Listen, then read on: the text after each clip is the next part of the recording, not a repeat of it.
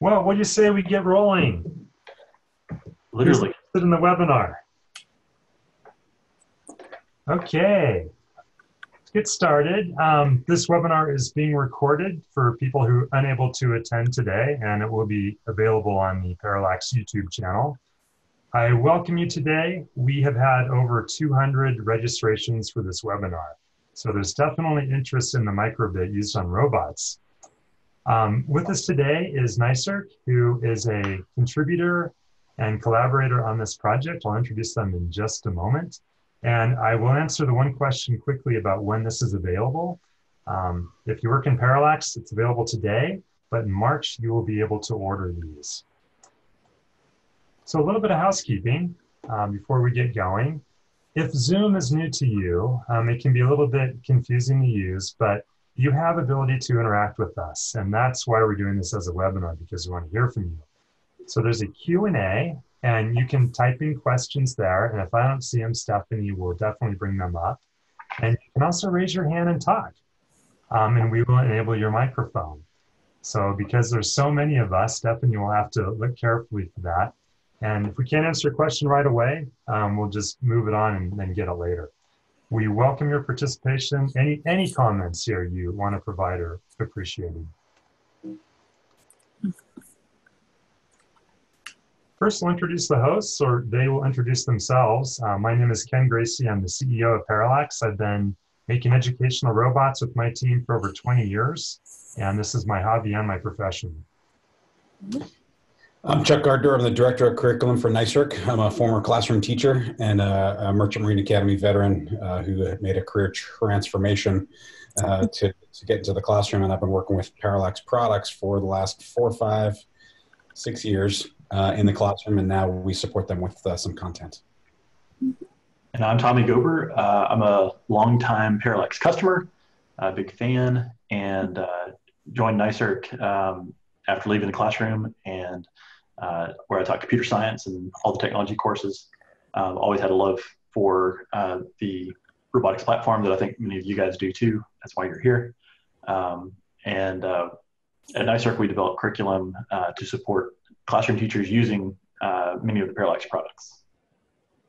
And quick question was asked, what is NICERC? And this is so important because um, we run into people that don't know NICERC and you run into people that don't know us. Who's NICERC? Um, let me cover two questions right there. Uh, so NICERC is the National Integrated Cyber Education Research Center, and we're the academic division for the Cyber Innovation Center, which is headquartered out of Bossier City, Louisiana. Uh, NICERC is funded through a grant from the Department of Homeland Security. Uh, multi-pronged approach, the baseline is we write and distribute curriculum for K-12 teachers across the country for free at no cost. Uh, cyber.org uh, is uh, the Cyber Innovation Center's website. NICERC is at nicerc.org, N-I-C-E-R-C, nicerc.org. Thanks so much, Chuck. And also our guests, all 90 of you that are hanging out, thanks for being here today. Um, this is your time, even though we're talking at you. So um, again, welcome your feedback here. Our agenda today, uh, we have a little less than an hour. Sometimes we go over because of questions, and that's absolutely welcome. We're going to do introductions, that's done. We're going to talk about the goals of this particular robot, and then the microbit and Python. So the microbit and Python are two big stars of the show, and how it works, how the software is loaded into it, where's the curriculum, what's the curriculum, and then we're going to have some demonstrations, the good kind with robots, and we'll talk about price and availability and just take questions. So we're speaking to educators of all levels here. I realize we have elementary all the way through university. I think there's something in here for everybody. We're going to try to kind of keep it um, understandable. At times, we'll dig a little deeper in technical details for those who really want to know. But ultimately, this robot is very simple to use. And one question that's come up, which we'll steer right away, is um, oh gosh, do I have to switch robots? And the answer there is no, no, no, no. Um, each of our robots shines in their own way, and teachers who use different robots love them for the reasons they use them for. Um, in terms of migrating to this or moving to it, the easiest transition you could make would be from um, the Shield bot, where you're basically just swapping out the control board on top, and the Boe-Bot and you're adding a battery pack to make the robot work. But very briefly, the strengths of all these robots are that the Boe-Bot is programmed in BASICS, very simple, direct um, language that has good hardware control. The shield bot, we obviously all know that because the Arduino programmed in C. That's used in schools that just want to have the Arduino. We want to be sure to give them the Arduino robot. And then the Cyberbot, and its big strength is MicroPython or Python. So if you're a school that wants to focus on Python programming, is a great way to get there. And our most popular robot is actually the ActivityBot 360 because its features are, are so unique and so different, it can't easily be converted into um, a cyberbot.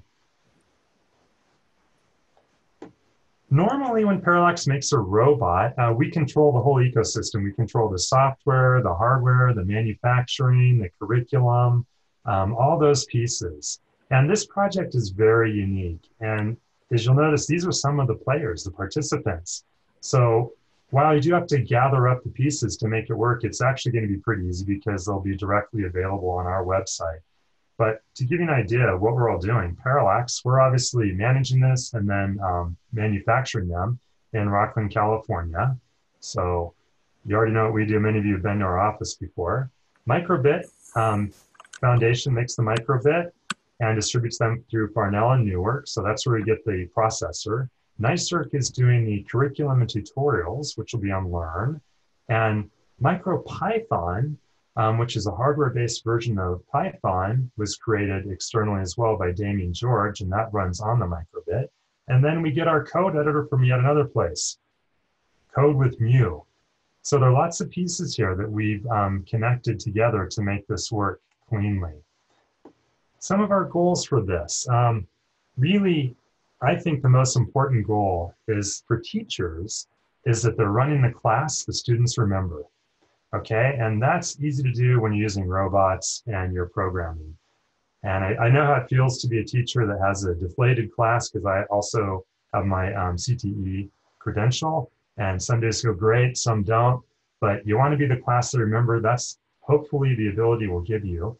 We want this to be very turnkey um, and give you also the ability to move students on that need more advanced projects.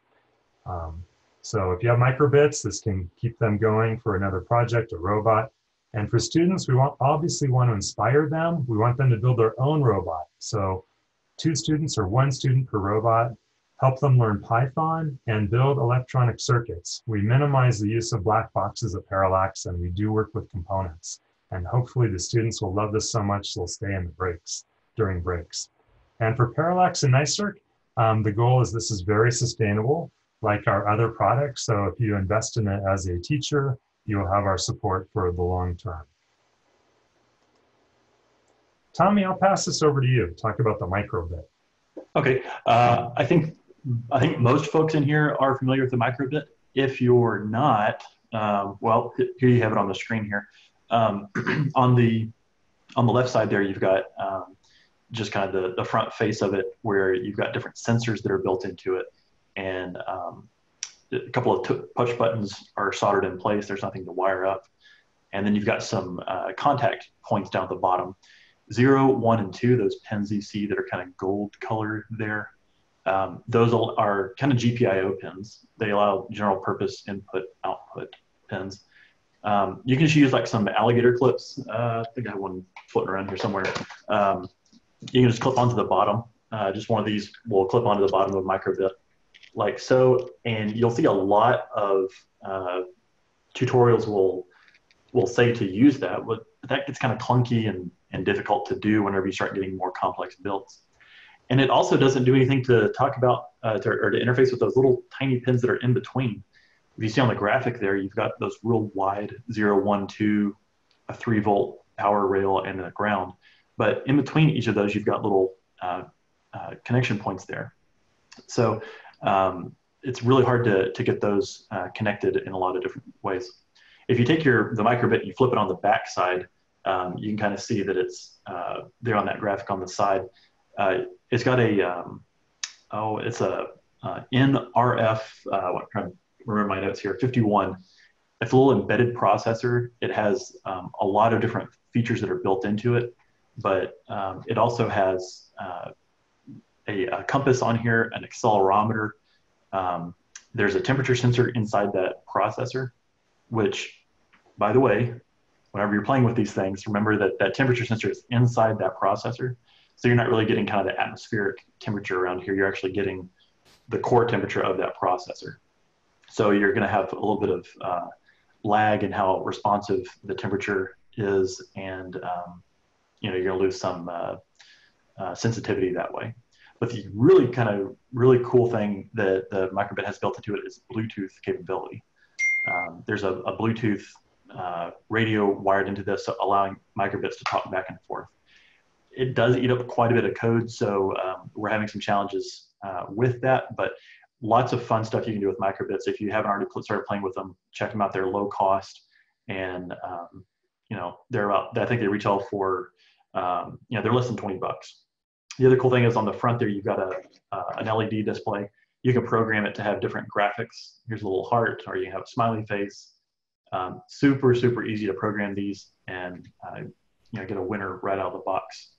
Uh, I think those and are languages, the, Tommy. How many languages are useful on the micro? Oh man, there, so you can program uh, Python is, is the language of choice that we're uh, that we've been playing with.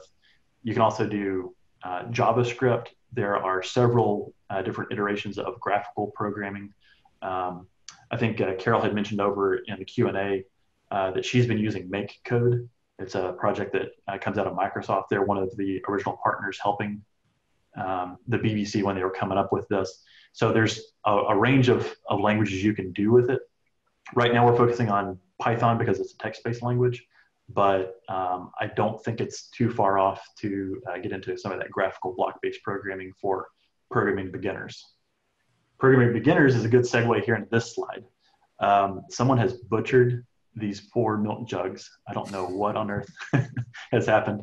Um, no, this is a, a, really cool thing. You see this time and again, uh, folks that are playing with the microbit. Um, circuit boards are scary to some folks. It's they're you know, am I going to get shocked? Is is this what what are all these little parts and pieces that I have to connect? I don't do electronics that well. The microbit is great. Um, we have uh, whenever we're doing workshops with teachers uh, on these, they say how strong or how resilient are these boards? Um, and uh, I think it was uh, Joe McAdam, one of our curriculum developers, uh, when asked that, he just took it and pitched it across the room and said, they're that strong. They, they're not going, they're, they're built to be kid proof. Um, and to that end, so some folks are saying, well, let's get this in the hands of kids. And um, what a lot of folks are doing is building these kind of little monsters that you see here out of milk jugs. And it's just a real kind of artistic, fun, interactive way to start playing with the microbit. Um, there's a whole lot more that the microbit is capable of, more than just being taped or glued to a, a milk jug uh, and, and dressed up in this way. But this is a great introduction showing that you can be artistic and creative with the microbit when you're just learning, uh, getting started with it. And then there's more to follow after that.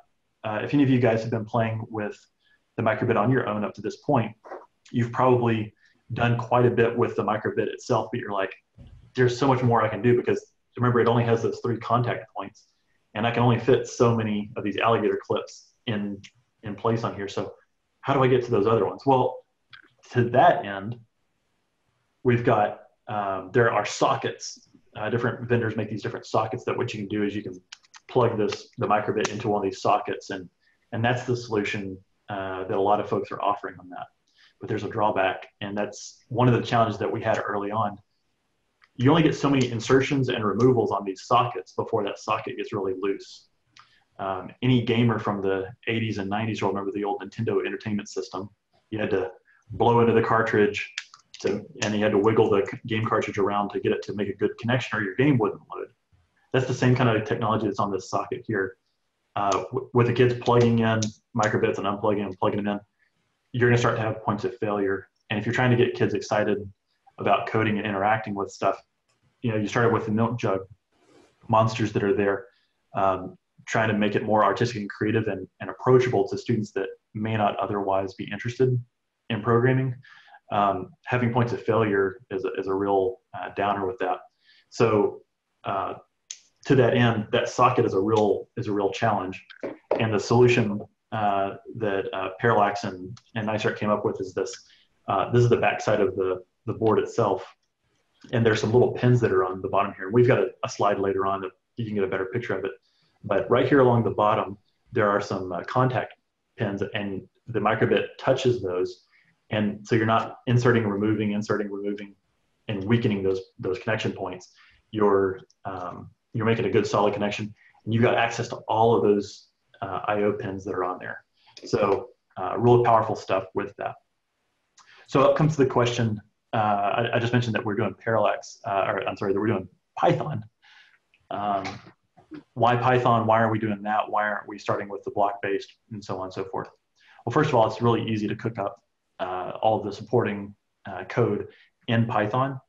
And Python is also taking over CS education. Um, a lot of computer science uh, teachers are moving towards Python as an introductory uh, programming language. Um, actually, back up one more slide real quick. There, um, wanted to show that uh, over here on the, the right side there, you've got the that kind of purplish uh, book there.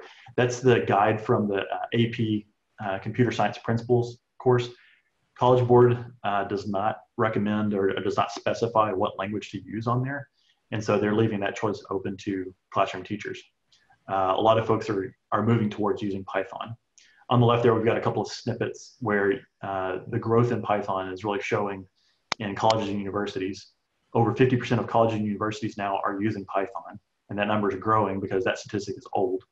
Um, so it's, it's just growing and growing and growing. Uh, for a long time, we've been focused on Java, and some of you guys may remember the Javelin uh, uh, project that Parallax had. Um, a lot of interest, interest in that, but Java can be difficult to, to work with at first as a first out of the gate programming language. That's where Python comes in. Um, to that end, uh, Python does have some, uh, some strengths there, and we've got a bulleted list coming up here that you can look at. Some of the stuff that I like about it is it's beginner friendly. It's a great intro way to do that. Um, and we put on here that it reads like English. It, it kind of has a basic like feel to it, but it's still object oriented. You can do quite a bit with it. You can focus on um, on teaching object oriented programming in there, or you can just stick with uh, you know without doing an object and just kind of leave all that abstract from the the end user. It does run on embedded hardware, which is how we came to use it on this project um, out of a, a Python project called MicroPython. More on that a little bit. And then there's uh, programming tool supports uh, that are out there. They're all open source. Uh, they work across different um, operating systems, and um, so that you're not being bound to any one particular platform. That's that's just something that comes about um, as a real strength whenever you're uh, looking at languages. Is what platform am I going to teach this on? And we know that schools all across the country, some are using Mac, some are using PC only, some are using Chromebooks. You name it, they're all over the place. Uh, one of the things that I liked whenever I was uh, teaching in the classroom with, uh, with Python is it forces these new programmers to align all of their code. If you're not familiar with Python, it's white space uh, oriented, which means that all code that's indented has to be in line and all that, that code runs at the same level. Um, so indentation matters. You're not put, going around putting curly braces here and there and, and on. Um, the, the indentation really helps uh, structure the code. It teaches good programming habits to make legible, readable code for others. Um, and then the this next bullet point here is that it, we said that it's not overly verbose. Um, you, you don't have these really long, uh, seemingly difficult syntax uh, statements for students. I'm going to pick on Java a little bit. Java does get a little bit verbose, and especially if you've done anything with like the GUIs and stuff like that. But um, it um, the it's it's easy to get at what you're trying to teach and just focus on uh, individual topics that you're there instead of just saying, well, you just have to type this and just trust me with it. And of course, the other thing that we like about it is it's free and open source, as all good languages are. Um, you don't have to deal with giving credit to any kind of corporation or anything like that. And Tommy will have some code examples up too. So people yeah, who've yeah. never seen it will get a look at it in a minute. See that. So what's this MicroPython? Okay, so we've talked about Python. What's MicroPython? MicroPython was created by this gentleman in the lower right, Damien George, as part of a Kickstarter project a couple years ago. Um, so MicroPython is considered an embedded language for physical computing, or we call microcontrollers. Um, up until recently, most a lot of the microcontroller work has been compiled, but um, this Python is an interpreter um, that runs in the microbit, just like the basic stamp has an interpreter. So the microcontrollers that use it have enough power to run the interpreter. Um, it's, it's a lean, efficient language as part of Python 3, and the library is a subset of the standard Python library. It's optimized to run on microcontrollers in memory-constrained environments. So this isn't to say that um, MicroPython is somehow, you know, less than Python. It's, it is to say that what is there is suited for the hardware it's controlling. So it's a perfect fit for the microbit and for processors that run it. Um, when I started programming in it, which first time was just a few months ago, I found it to be like the joys of PBASIC to me, basic, but with the power of an object-oriented language. So it was really, it's very clean and fun to write in and understandable. In fact, we're looking at using uh, MicroPython on the propeller too. So Parallax will usually refer to MicroPython and Python just as Python for now. Ken, we have a question from Amber on this who hasn't used MicroPython before and is curious how the number of its libraries compares to the Arduino uh, body out there. And maybe Tommy and Chuck have had more longer experience with it might answer that. Uh, yeah, I can uh, knock that out really quick. There, there are a lot of libraries available for uh, for Python, but uh, one constraint you have with the microbit is that it doesn't have a lot of memory to uh, to share with a lot of those libraries. A lot of those libraries are not written um, with the memory constraints in mind that something like the microbit has. So there are plenty of libraries available. It comes down to a question of does can you can you cram all of that into the memory constraints on the microbit? So yeah, on that note, um, at the beginning of all the Parallax code, you'll see that we've imported a code module or what I call a library and it's called Parallax, and we get to refer to it as bot, which starts an instance of the object. Um, so let's just talk for a minute about the, the code. You're looking at the Mu editor, which I'll show you in a moment. Um, and you can download this at codewith.mu. So on its own, the microbit can't do everything we need it to do. And that's why we have this, this library or module to support it. And the module provides very direct control over the motors, sensors, you know, laser sensors, ultrasonic, um, infrared communications, basically all the circuits that you've seen on Parallax robots.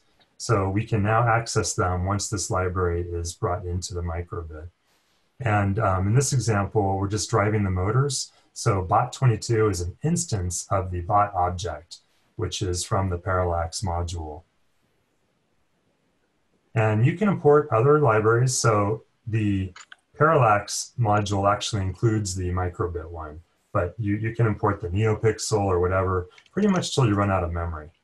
So how do we get this in here? Here's a little video of that.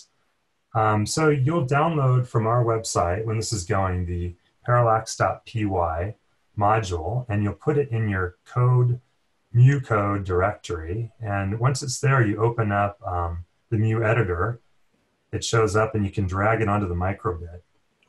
And if you click on files and still there, now you have it. So now you can actually code with it. So you could go about writing your code, putting in a comment, and um, I'm importing the module now, and star brings it all in. Or you could just import bot, but just so happens right now that the whole module is bot or star, it's the same thing. And then get on with writing your code.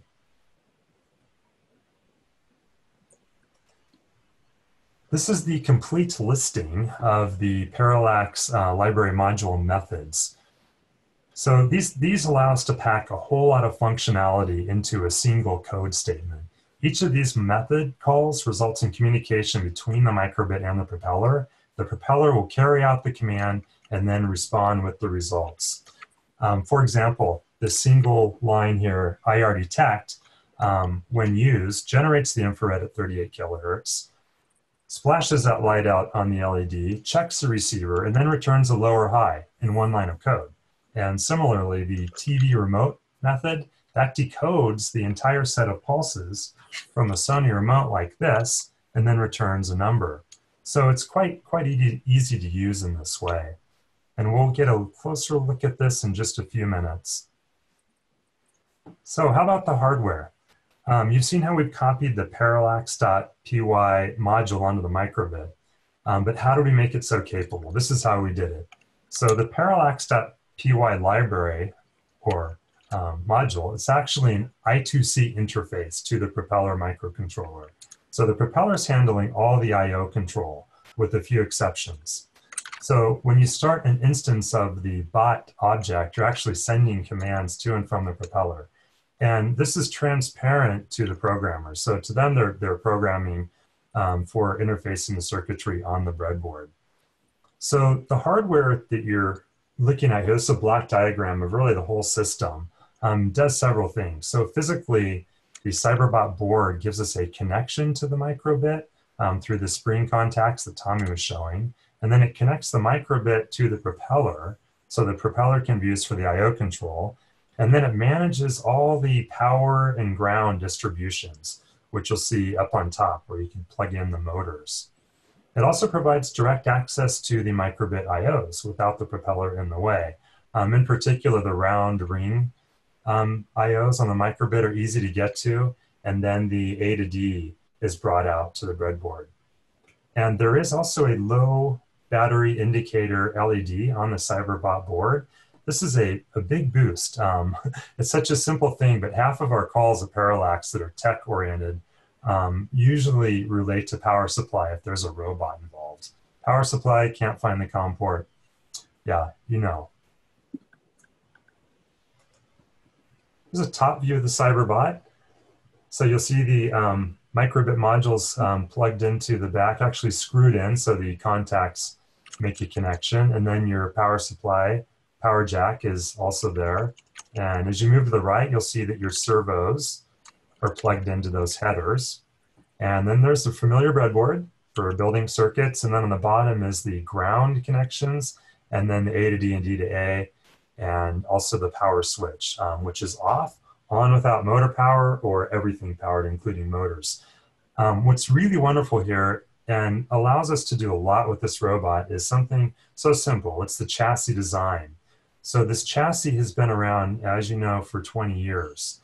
And when you're introducing an educational robot and you, you need it to have longevity, you really need to, or we need to leverage everything we've done before. So in particular, add-ons like the ping mounting bracket, which is the rotating ultrasonic sensor, or the line follower, or the gripper, those accessories can be used with this robot.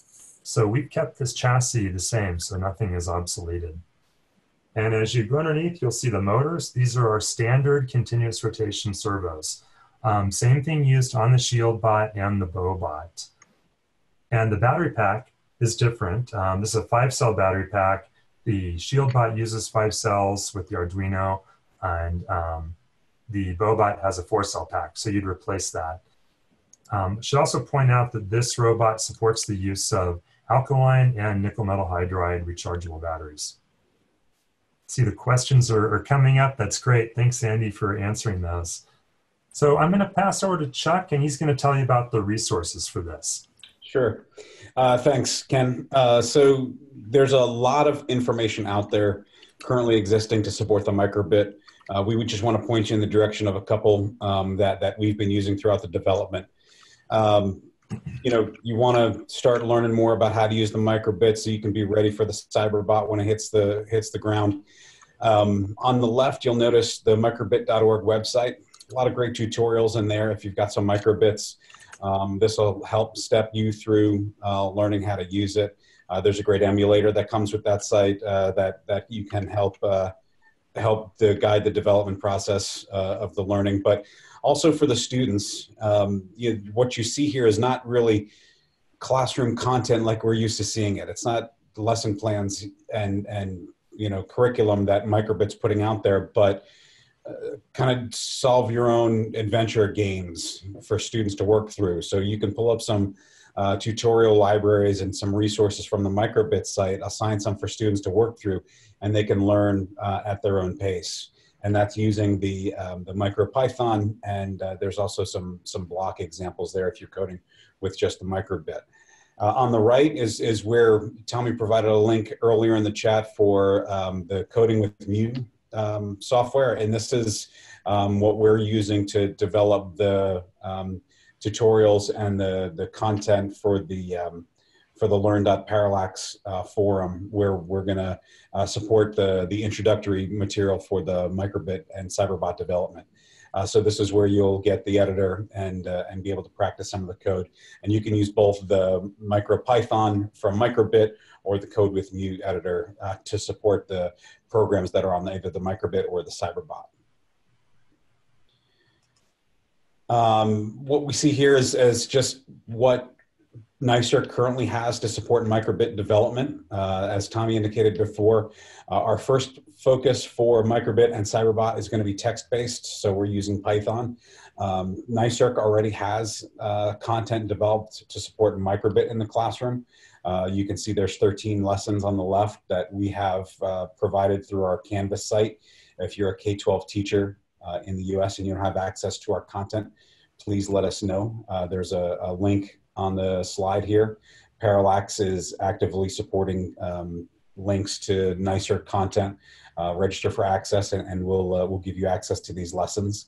Uh, what we envision for the Cyberbot is once the introductory material has been developed through the Learn.Parallax forum, uh, we're going to also develop um, classroom content to support the Cyberbot in the classroom uh, with full year uh, courses, modular examples, uh, and everything else that you'll need to, to roll out, pardon the pun, Cyberbot in the classroom. So we want to talk about how Cyberbot is going to make connections to real world. Uh, NICERC content is all about creating the next generation of cyber citizenry and making students aware of uh, cyber jobs, cybersecurity jobs that are available.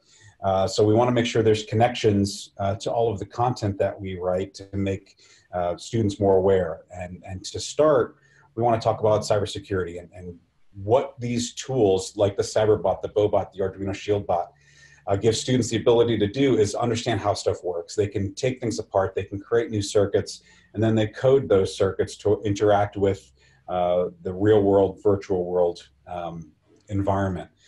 So knowing how things work helps them understand how things don't work. And if they get something wrong, it's their job to come back and troubleshoot and fix. They can't always raise their hand in the real world to get help. So the content that we're writing to support these awesome platforms are helping generate a more aware and a more capable um, K-12 student that then is going to provide a more aware environment for uh, two-year, four-year, or jumping right into career with um, cybersecurity degrees or credentials. Um, so they know how to take things apart, they know how to put them together, troubleshoot, and then we bring in cybersecurity and hardening systems. We've got an example here on this page of our Bank Vault Boe-Bot. Oh, sorry, Ken. Yep. Uh, of our, if we can just slide back real quick. Uh, our Bank Vault Boe-Bot project.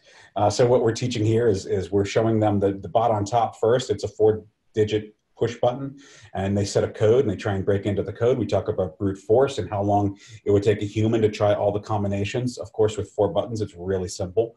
Um, but then we talk about expanding it to 10 and then alphanumeric and so on and so on and expanding it to eight digits and 12 digits. And then we can come in and take another bot that writes an algorithm that tests all the possible combinations and it does it in a fraction of the time. So there's where we take students through all of those four bullets um, to, to help them uh, develop this real world appreciation for what's happening in, in the cyber world. And the Cyberbot curriculum, uh, once the, the bot hits the ground, you'll see support on Parallax's Learn.Parallax um, site, their repository for educational tutorials and, and um, resources. Uh, we'll also have, as the summer approaches, some content. Like I said, the cyber literacy will be ported to the Cyberbot. We'll have some uh, middle school content once we begin working on the, the um, graphical programming support, the block-based programming. Uh, we intend to, to have content available for, uh, for middle school and, and, possibly younger. We want this to be a, a, platform that can grow with the student all the way through um, to their uh, either senior year in high school or beyond, uh, depending on the uh, application within higher ed. but um, keep uh, keep an eye on learn.parallax.com slash cyberbot. Uh, there's already some uh, information there. Again, no no links yet because the content's being written, but uh, bookmark that and then uh, make sure you register with nicerc.org. Uh, and once our cyberbot curriculum becomes available, we'd love to share that with, with everyone in our network as well. so there are some of the great resources that we've got coming up for cyberbot. Um, should point out too, just to reinforce something you said. So right now, any American educator can go to NICERC and um, register their name and then gain access to your content management system, which has student handouts, teacher worksheets, and code in a nice format for the microbit. Yep. Uh, our content, our, our website is a one stop shop to help support teachers in the classroom. Uh, like Ken said, everything from student materials, teacher materials, uh, rubrics, grading guides, tests, study guides, uh, PowerPoint presentations, uh, and we intend the Cyberbot to have all of that uh, and more. So please register at nicerc.org slash curricular access. Yeah, perfect. And I think Wayne Green had a question. We can let him ask it while we get demos ready. Um, uh, so Wayne's question is, is this available for after school programs, non-traditional teachers? I don't know if he was gonna, uh, if we were gonna uh, un unmute, but yes. Uh, so um, we, we look at every request for access to nicerc.org content uh, and we'd love to hear from, uh, from anyone who wants to use this content. Um, basically, it's, it's free for all educators in the country. as, and as I say, plus anyone who has direct impact with the K-12 population. So that includes summer camps, after-school programs, homeschools, um, church groups. So please request access and we'd love to engage with you uh, more. Great. Okay, so we're going to switch over to some videos here, actually Ken, some live demos. Ken, before we do that, we do have a question from Rob Faludi about um, the curriculum over here in the Q&A pane. Oh, hey, Rob. Uh, on REPL, um, so uh, right out of the gate, no, we're not going to be uh, doing anything with REPL just because there's already other stuff that's out there. But yeah, I do agree that it's a great way to to start kind of dabbling with that.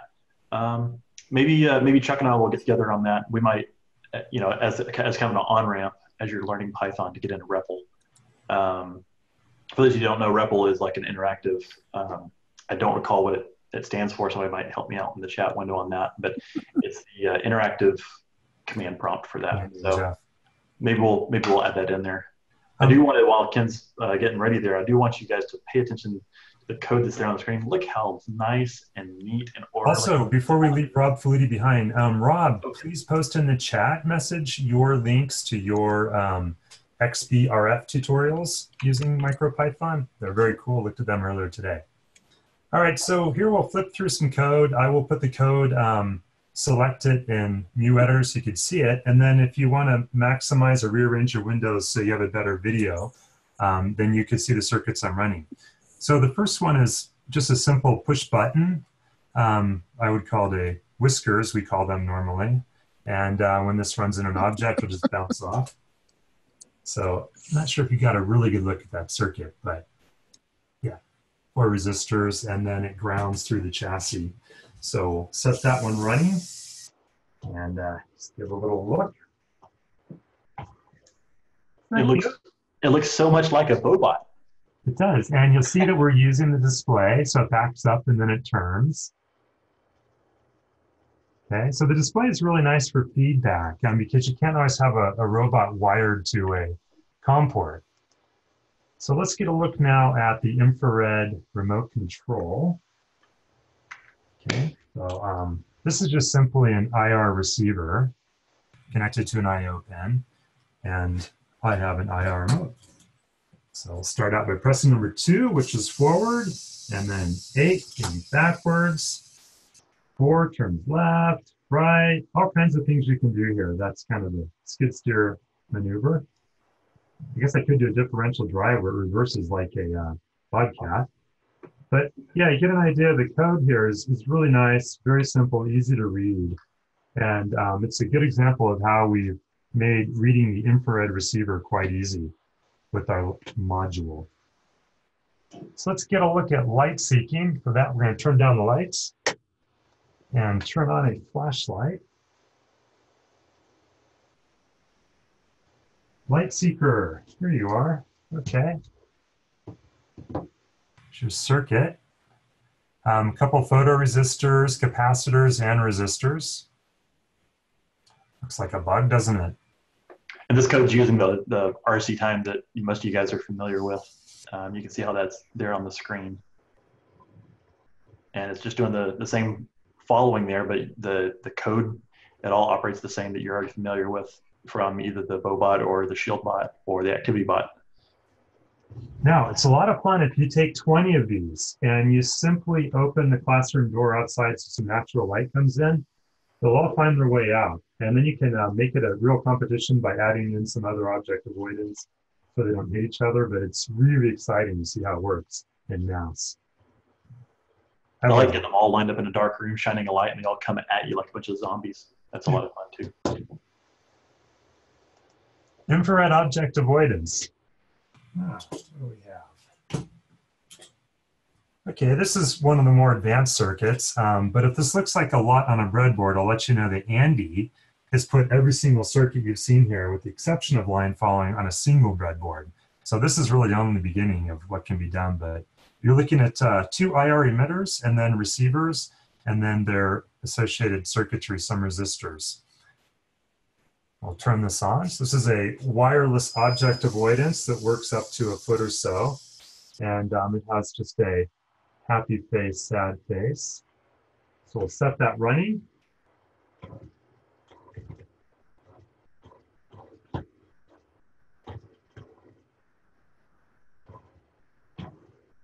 And Tommy, when you build these with teachers, and Chuck, uh, what's your success rate initially? The circuit. That circuit, uh, by that point, we're get, I've I've rarely had anybody get in a workshop not be successful with this. Even people that are like, well, you don't know me. I've never programmed before. I'm not good at this. It's by that point we're we're rocking and rolling and have a, a grand time. So I've I've had I think I could say probably a, a good solid 95 percent um, I would say 100%, but I'm sure there's somebody out there who goes, nah. so this is the opposite, um, same circuit, but we will be tracking an object. So we'll be centering it between the two emitters and receivers. So instead of steering away from it, we'll be steering towards it. Now this can be used to make one robot follow another. You have to put some business cards or some paper around the other robot so it could be seen at this height. Um, but it's uh, fun to combine, say, with line following or other moving objects. Hey, Ken, you, you said that a business card or a piece of paper. I like to just call them an IR reflector. It makes it sound so much more technical. I love your high tech IR reflector. so maybe something a little bigger here. And you have to kind of adjust your circuit a little bit just to you know make it work exactly right. And the tutorials will show you how to tune this too. So I could back this guy right up off of the table. How do you like that one? Is that fun to see? Let us know in the chat. Kind of a nervous little robot, isn't it? Oh, here's another one. Uh, this is kind of fun. What would this one do? It has on the end of it a pin. And has a ultrasonic sensor. What do you think? Okay, we'll get some Python colored balloons out and we will just roam towards the balloon and then blow it up.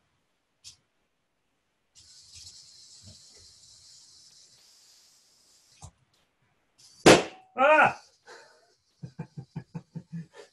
Do you like that one? You want to see it again? Do it again, do it again. Okay, all right. It's easy enough. Here's the other Python color, yellow. This one might be a fail.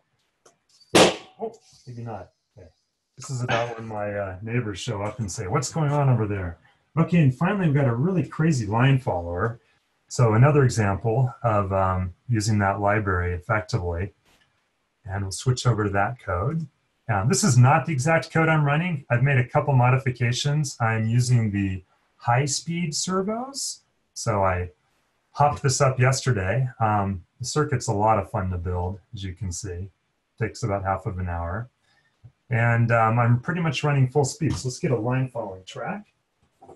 And this is really running at the ragged edge of performance and sensibility. So to make it work reliably is normally what you'd see in our curriculum with slow examples. So we give the student room for improvement. Um, so never mind this. This is just the, the hobby side of me coming out.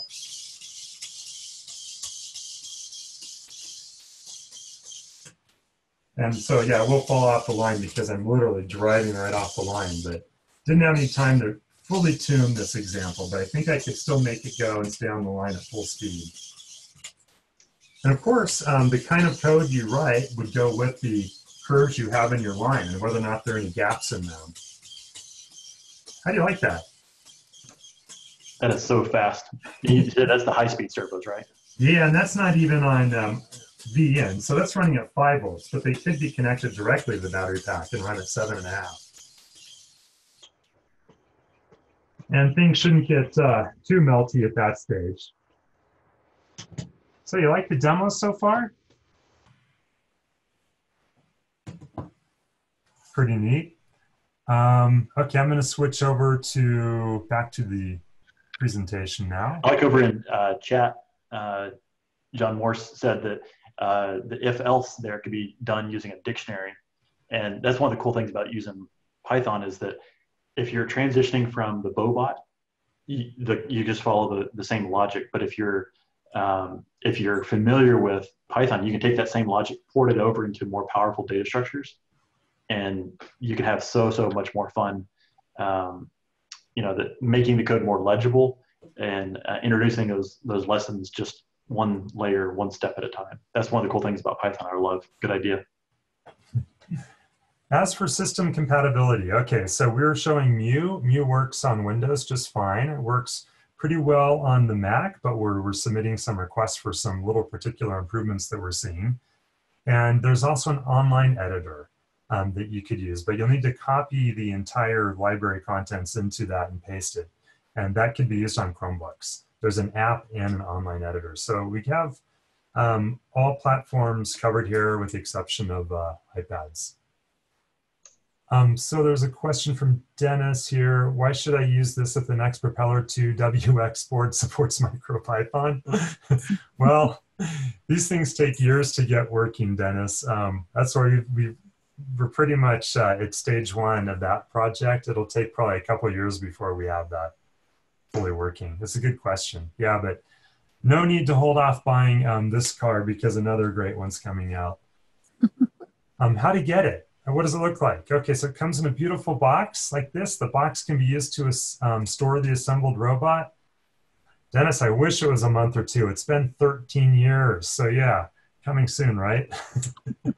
this is the box for the Cyberbot. And the two um, near complete formats it's offered in, one is with the microbit. Uh, it's a $200 kit. And then the second is no microbit, which is $10 less.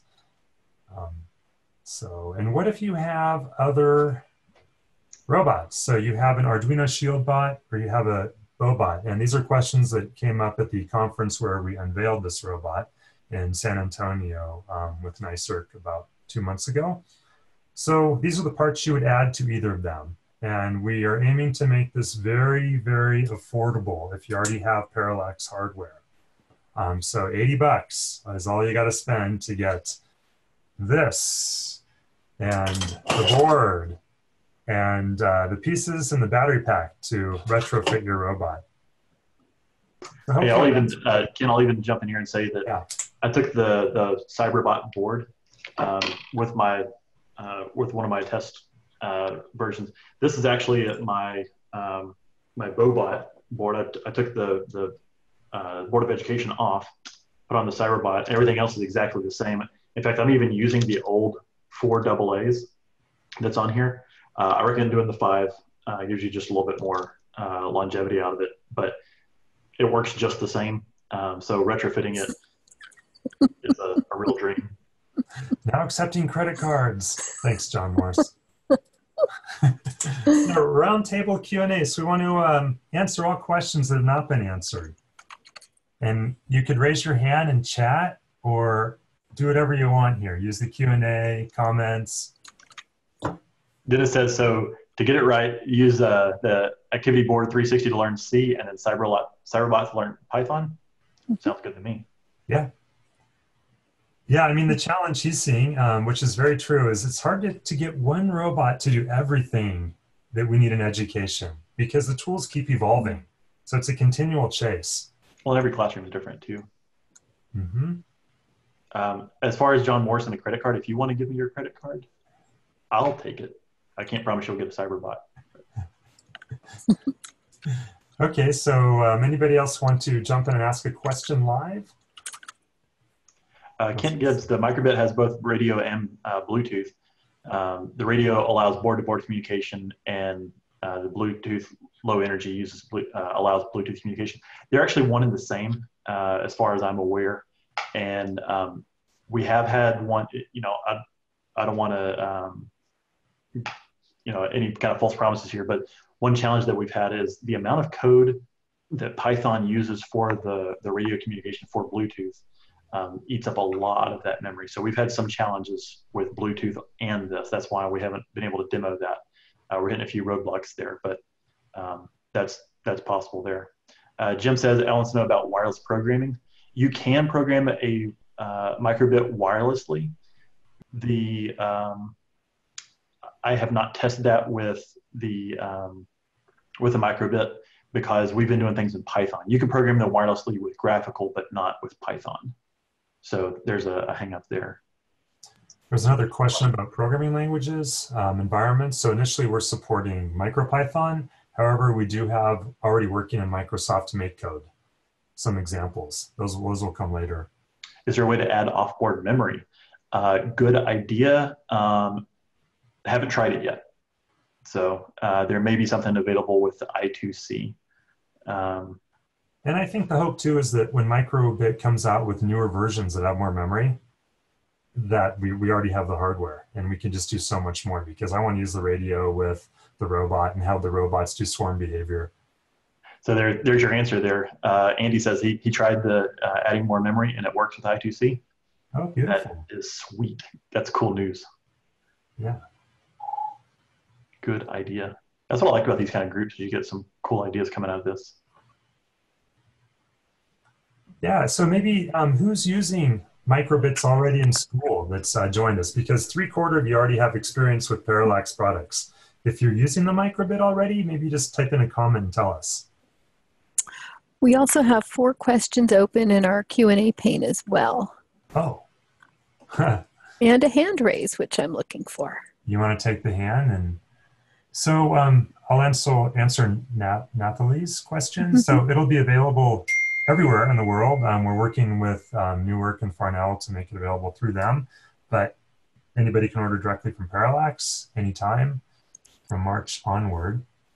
And um, yeah, John Kaufman, good to see you. Um, we don't have encoder support. We did not use the Feedback 360 servos, and uh, we're definitely thinking with the audience that we're aiming for a younger one um, it's not necessary, but there is a possibility we could support the Feedback 360 servo in the future.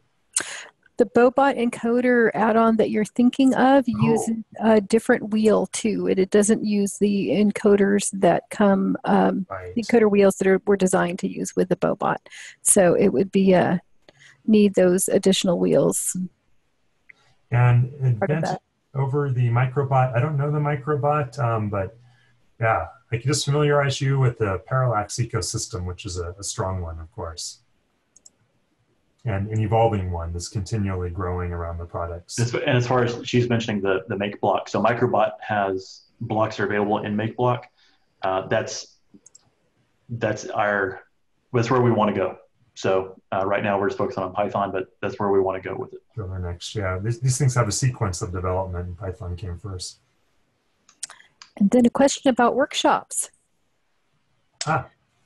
Jaya. Yeah, the question is, are you planning to organize a full day hands-on workshop for Cyberbot? Um, I think Parallax is being asked if, like you're doing for the AC uh, bot. Uh, I know NICERC is going to support this summer some conversations on Cyberbot at our uh, annual EDF events or Cyber EDF events. Uh, you can go to nicerc.org uh, and look for the um, professional development tab, and there's going to be some information on the EDF appearing shortly. And I'll let uh, Parallax answer anything your guys are working on with the Cyberbot. We currently have um, a number of four-hour sessions that occur over two days planned in Chicago, uh, which will be noted on our website soon. And those are at um, Moline Community College, I believe.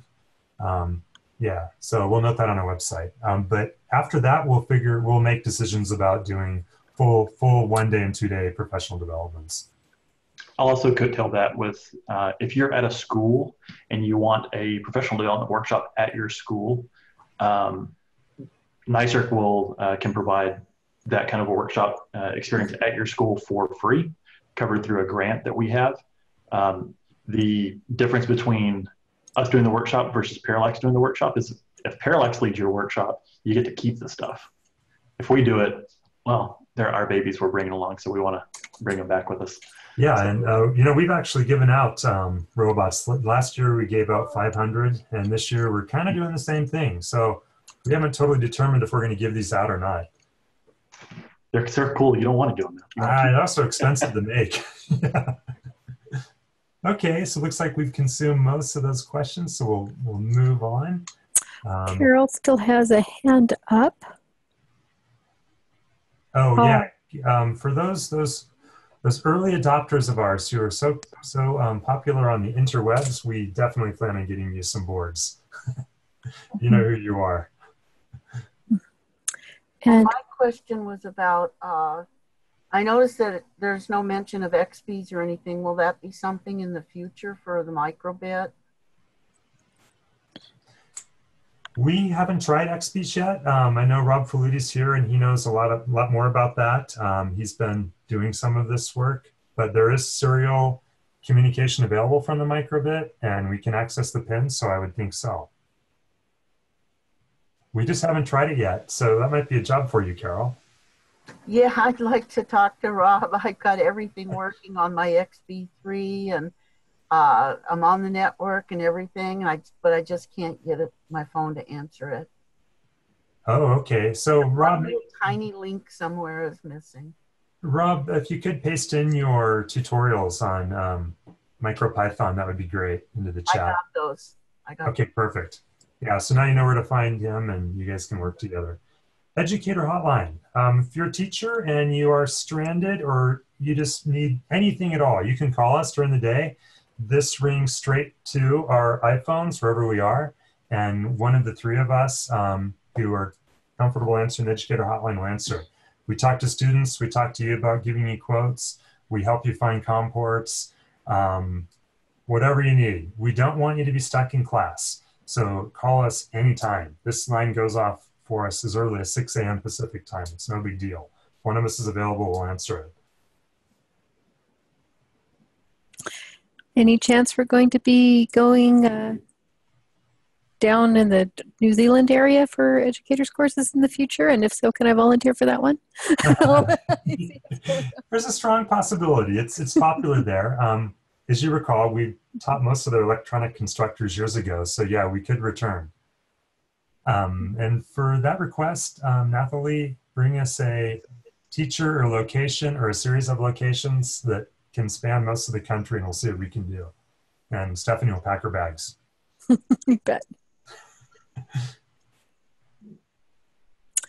And a question, are the 360 servos um, compatible with a microbit? I don't think we have tried that particular combination. Perhaps Andy might reply in the chat pane if he has anything to say on the subject. But I know we're currently focusing on the same continuous rotation servos that are in the Boe-Bot and ShieldBot, so we can have somewhat of a parallel curriculum. Yeah, technical feasibility question. And it, it could be a future upgrade too. Mm-hmm.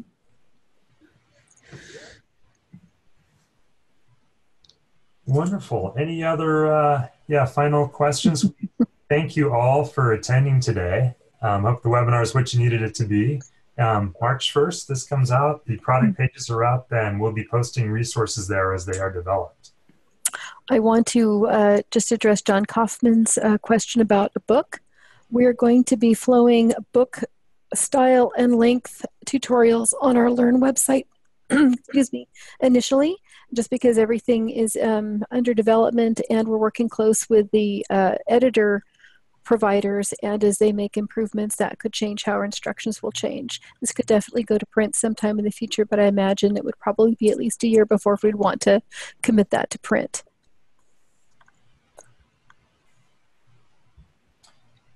Uh, dennis has a, a, a, note over in chat. He says that um, the way he sees it that start with microbit curriculum and then switch to the robot for survivors Absolutely, that's the way that I envision it. Because like you, you do so much with the microbit, but it's still just laying limp on the table.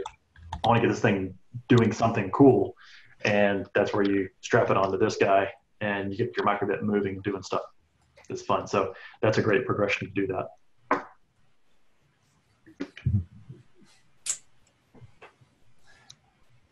Okay, well, thank you everybody for attending. Um, thank you so much, uh, Tommy and Chuck and Stephanie and Kate and Andy and Jeff and David and the list goes on and on because so many people have contributed so much to this. And it's wonderful to finally see it uh, getting close. We've been working on this for over a year and the idea was originally posed to us from Tommy here. So this is his idea. Thank you, Tommy. You've kept us very busy for a year. Make work. That's what I do. yeah, you did a great job. We had a, we're having a wonderful time working with it though, and it's been rewarding for us, and we've all learned a lot. So looking forward to the next steps here. Yep, thank you. and um, we'll catch you all at the next event. Thanks everybody for your interest. Yep. Thanks everybody. See you. Bye now.